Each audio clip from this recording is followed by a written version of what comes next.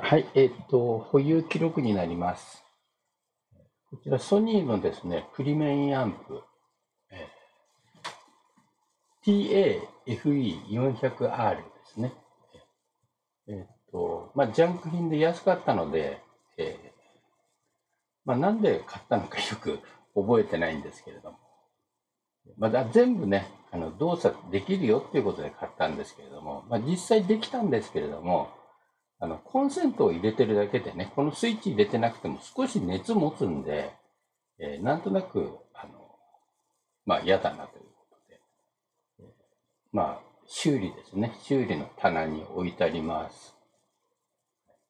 で結構ですね、やっぱり見ると傷があって、あんまりよく見ないで買っちゃったのかもしれない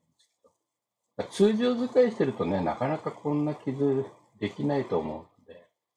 まあちょっと乱暴にね、扱ったか、それとも修理したりしたのか、素人の人がね、そんな感じかもしれませんので、えー、まあ買うときはですね、外見なんかもやっぱり注意して、えー、よくね、えー、資料熟考して買うことをね、お勧めします。以上です。